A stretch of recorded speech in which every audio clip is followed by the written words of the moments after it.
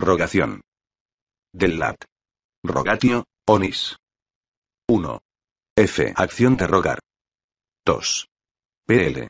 Letanías en procesiones públicas, que se hacían en determinados días del año.